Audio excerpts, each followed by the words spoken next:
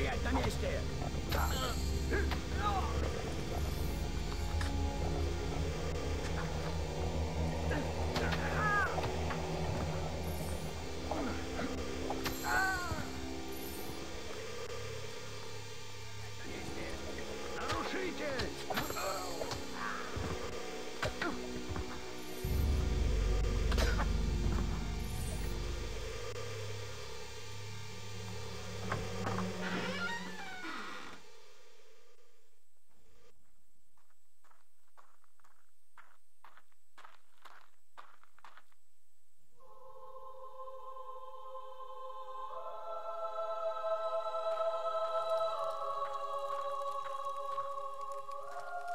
Я же сказала, еще раз меня тронешь, и я сверну тебе шею.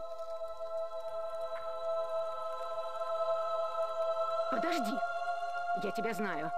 Нет, это какой-то трюк. Ты не мой сын. Этот подонок опять играет в свои игры. Но это ведь правда ты? И зачем ты, спрашивается, сюда явился? Теперь он заполучил нас обоих. Ну ладно, нам надо отсюда выбираться. Открой эту проклятую клетку.